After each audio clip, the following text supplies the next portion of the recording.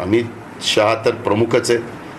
देवेंद्र फडणवीस आजपर्यंत राज्याचं प्रमुख पद भूषवत आहेत आणि चंद्रकांत दादा पाटील आपण पण पत्रकार मित्र बघतो की हे सगळेजण साधारण सरकारचं धोरण काय असावं निर्णय काय असावा काय अंमलबजावणी करावी ह्याबद्दलची भूमिका घेत असतात.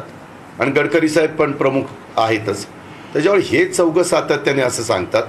याचा अर्थ ह्या चौघांनाही कळलेलं आहे की जर शिवसेना आपल्याबरोबर राहिली नाही तर मग आपण विरोधी पक्षात बसायचं हे काळ्या दगडावरची पांढरी रेख. कदाचित मग असं करताना वेळ पडली तर थोड्याशा जास्तीच्या जागा ते शिवसेनेला देतील पण बाबा आपण बरोबर राहू.